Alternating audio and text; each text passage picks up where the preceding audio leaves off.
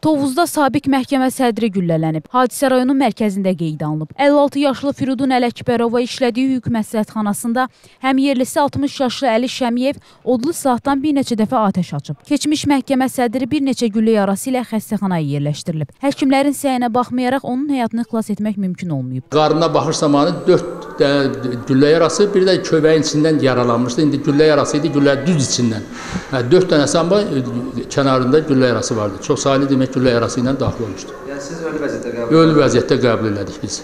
Hadisəni törədən Əli Şəmiyev polis tərəfindən saxlanılıb. Güllələnən keçmiş hakim Tovuz rayon məhkəməsinin sabiq sədridir. O 1995-ci ildə fəaliyyətində qanun pozuntusuna yol verdiyi üçün vəzifəsindən azad edilib və xalq hakimi səlahiyyətindən vaxtından əvvəl məhrum olunub. Faktla bağlı rayon prokurorluğunda araşdırma aparılır.